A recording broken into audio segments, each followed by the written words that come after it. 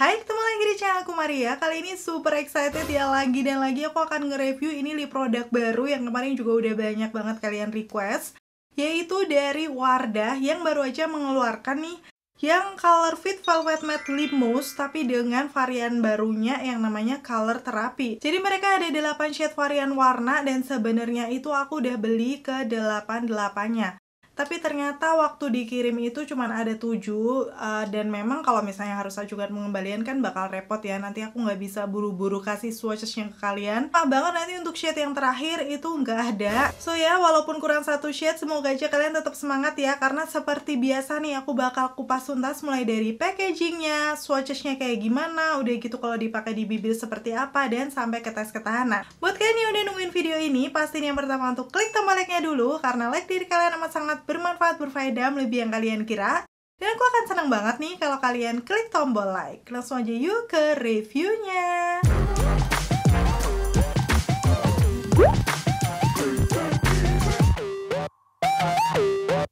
Dan seperti biasa aku akan ngebahas dari segi packagingnya terlebih dahulu yang pastinya ini beda dengan Velvet Lip Mousse yang lama ya Karena kan dulu full color doff gitu, sekarang kayak lebih bervariasi gitu Untuk tutupnya sendiri dia warna-warni dengan perpaduan warna krem dan kayak ada warna-warna ala-ala vintage gitu nggak sih? Kalau aku sih sebutnya kayak gitu ya. Di sini untuk warna-warnanya pun beda setiap shade-nya karena memang namanya juga series yang color terapi ya. Dan ini tuh nggak ada boxnya, langsung datang kayak gini dengan ada penutup plastiknya. Dan waktu aku buka untuk plastiknya, ini jangan khawatir semua keterangan-keterangan masih ada di sini ya.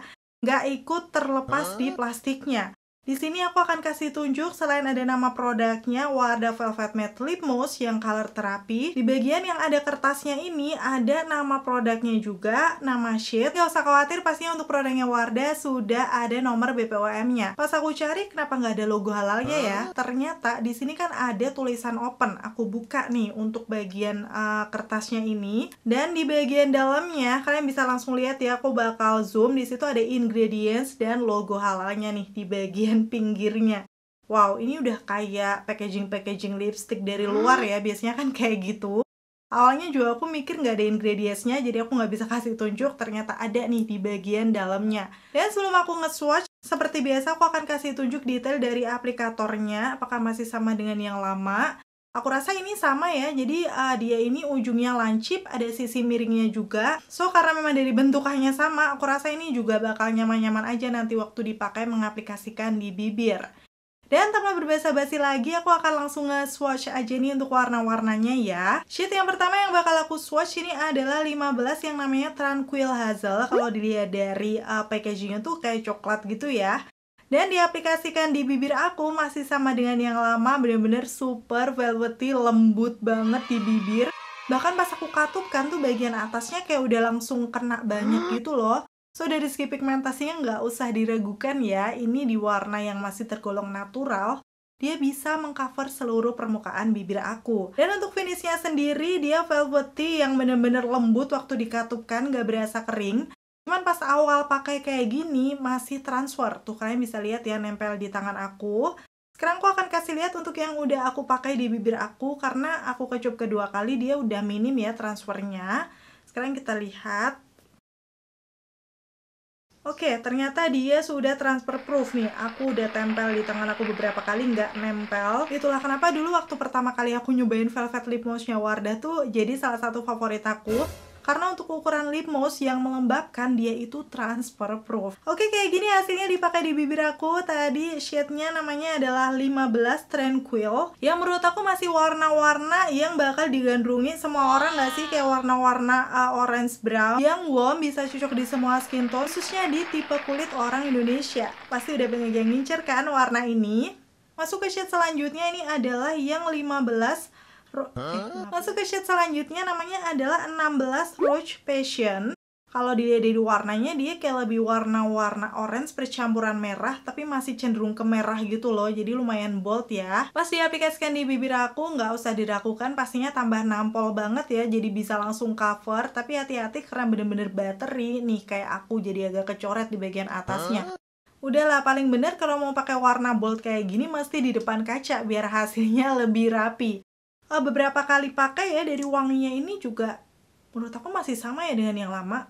Kayak gini juga aku kurang suka sih sama wanginya. Tapi kayak oke okay, masih bisa dipakai juga karena itu kerasanya cuma di awal pas pakai aja. Mungkin buat kalian yang nggak suka bebauan agak terganggu coba kalian yang udah nyobain ini yang gak suka wangi-wangian kayak gimana menurut kalian wanginya? Dan seperti ini hasilnya udah rapi ya karena memang ini warna-warna bold buat aku sendiri sih untuk natural kurang. Mungkin bisa buat untuk acara-acara formal kerja atau mungkin kayak acara-acara malam gitu ya. Tapi mungkin warna kayak gini buat di sebagian orang bisa juga nih dipakai sehari-hari. Nanti kalau ada yang mirip aku bakal kasih tahu. Tapi kalau belum mungkin bisa menyusul ya. Untuk shade selanjutnya ini adalah 17 Beyond Sunset. Dari namanya aja kayak pas pastinya warm ya ternyata memang benar dia kayak warna-warna uh, orange bata tapi uh, versi softnya jadi untuk warna yang nude kayak gini pigmentasinya tetap masih bagus tuh bisa ngecover. Dan menurut aku sih memang velvet lip glossnya Wardah ini bener-bener sesmooth itu sehingga bisa ngeblurin garis-garis bibir aku. Jadi finishnya sih bisa dibilang dia powdery matte yang pas dikatukan tuh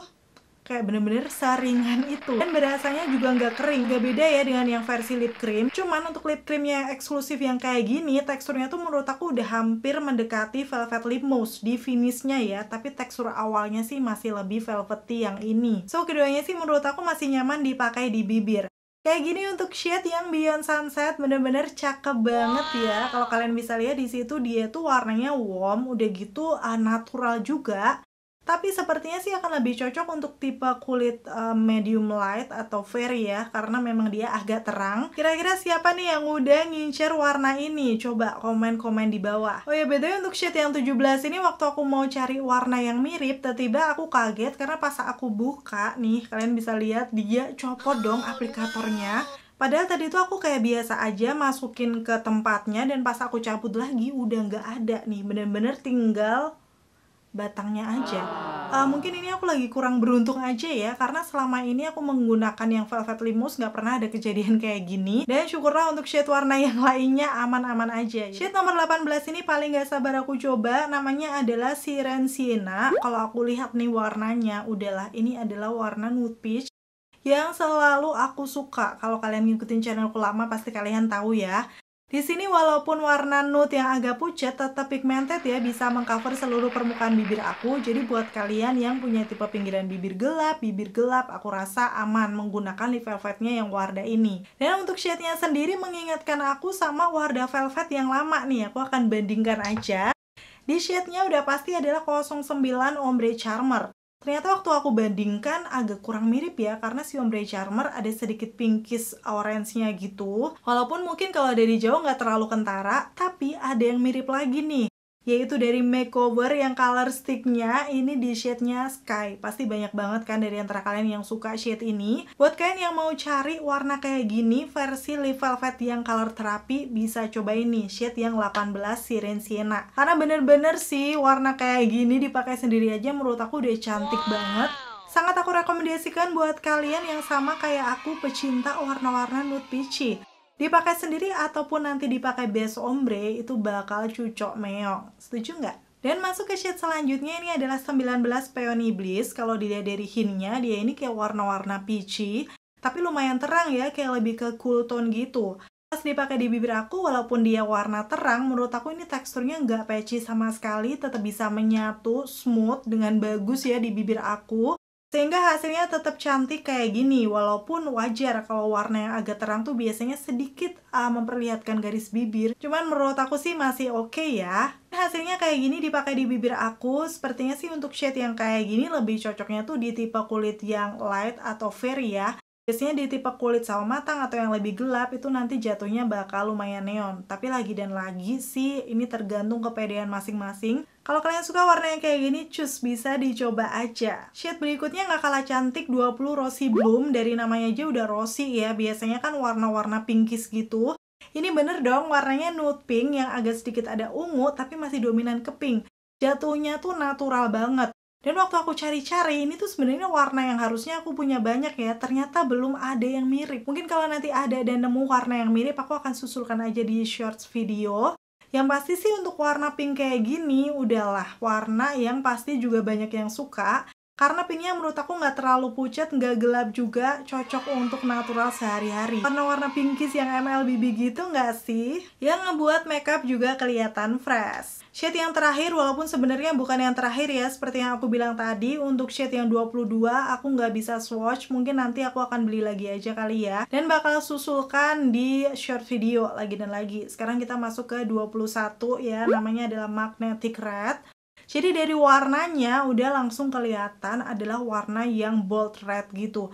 Jadi warna merahnya ini sedikit ada percampuran dengan orange tapi masih dominan ke merah. Jadi hampir merah-merah darah tapi kayak lebih kaleman dikit ya.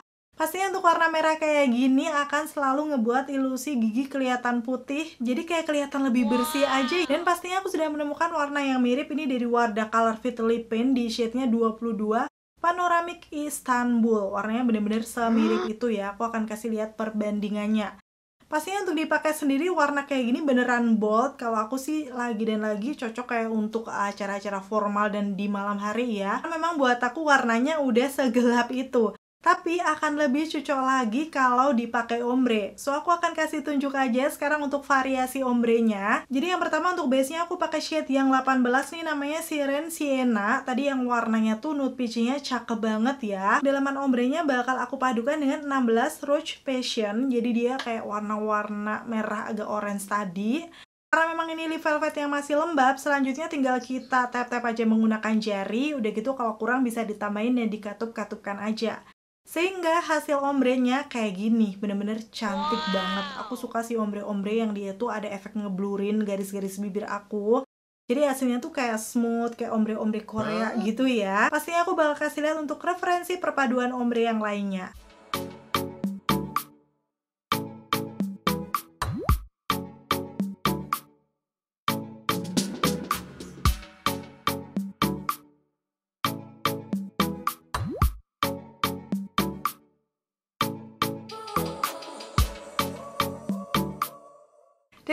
Ya untuk swatchnya sampai perpaduan ombrenya. Kira-kira dari semua warna yang udah aku swatch, mana nih warna yang kalian suka? Coba komen-komen di bawah. Atau mana juga nih ombre lips favorit kalian? Kalau aku sendiri pastinya untuk warna yang aku rekomendasikan ya, yang pertama tidak lain tidak bukan adalah 18 yang Sirene Sienna. Karena ini warna nude peach-nya udah cantik wow. banget Apalagi buat kalian yang udah suka kayaknya makeover, wajib punya sih untuk shade yang ini. Dan yang kedua ini shade-nya adalah yang 20 Rosy Bloom karena menurut aku ini warna pinkisnya tuh kayak cantik banget, pinkis MLBB gitu.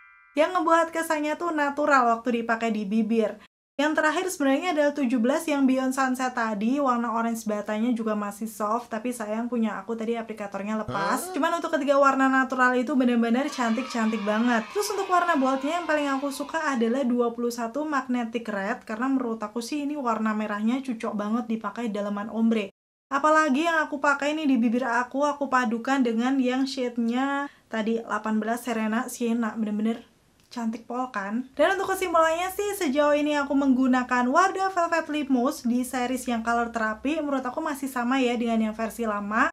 Dari segi teksturnya dia itu velvety yang lembut banget bisa langsung ngeblurin garis bibir aku dan berasanya lembab untuk warna-warnanya semuanya juga masih pigmented.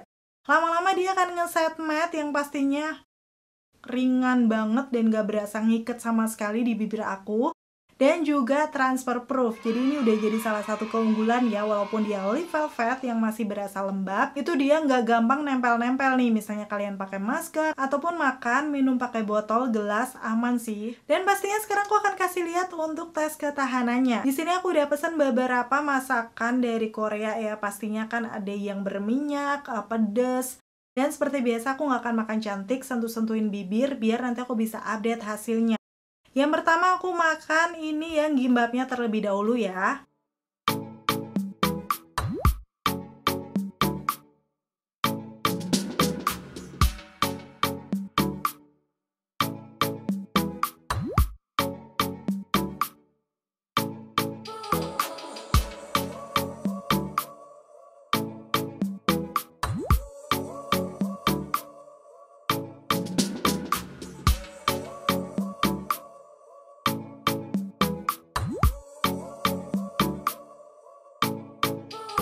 Setelah aku selesai makan karena memang dia tidak terlalu berminyak menurut aku nih kondisinya di bibir aku masih bagus-bagus aja. Tuh kalian bisa langsung lihat kayak nggak berkurang gitu. Sekarang aku akan masuk makan makanan yang berminyaknya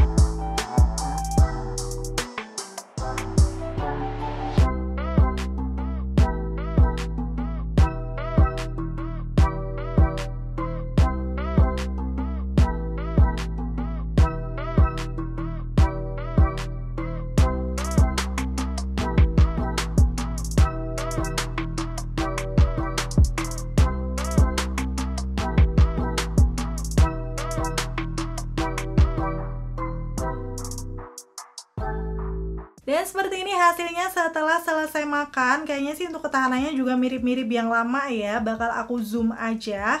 Di bagian tengah bibir sudah kelihatan hilang ya untuk lip velvetnya, tapi memang nggak sehilang itu. Di pinggirannya tuh kayak masih ada gitu warnanya. Dan secara penampakannya di bibir aku sih ini kayak agak lumayan bolong ya. So sepertinya sih butuh di touch up, tapi memang kemarin aku kelupaan touch upnya Emang saya ingat aku untuk tekstur yang lip velvet kayak gini waktu diaplikasikan di bibir dia kayak bisa langsung nyatu lagi. Jadi kalian nggak perlu khawatir kalau misalnya tahu bakal makan makanan ini lumayan berminyak, wajib ya dibawa di tas. So setelah lihat tes ketahanannya masih sama ya dengan varian lama yang color terapi ini dari lip velvetnya Wardah. Kalau misalnya kalian makan makanan yang ringan, nggak terlalu berminyak itu masih aman. Cuman kalau kalian makan makanan berminyak, dia langsung hilang tuh di bagian tengahnya walaupun secara penampakannya nggak yang hilang semuanya ya. So ini tergantung preferensi kalian masing-masing aja nyari lip produk yang kayak gimana. Kalau buat aku sendiri sih dari dulu memang untuk lip velvetnya Wardah ini karena memang dia itu nggak yang berasa kering masih ada kelembaban di bibir aku. Jadi masih cukup worth to buy ya buat kalian coba dan beli. Asalkan kalian udah suka ya sama yang versi lamanya. Karena mungkin di sebagian orang yang bibirnya memang bener-bener kering kadang ada yang bilang ini tuh terlalu matte jadi mungkin bisa dipakein lip balm terlebih dahulu setelah meresap, barulah diaplikasikan lip velvetnya. Itu kayak bisa mengurangi sih menurut aku. Dan akhirnya selesai sudah untuk video review kali ini. Semoga informasinya seperti biasa ya, bisa bermanfaat dan membantu buat kalian. Dijadikan referensi swatches juga kalau tipe skin tone kalian mirip-mirip sama aku. Karena memang di tipe skin tone yang berbeda, nanti hasilnya juga bisa beda. Terima kasih buat kalian yang udah selalu nonton videoku sampai akhir. Kalau kalian suka, pastiin untuk klik tombol like. Dan sampai ketemu lagi. Bye!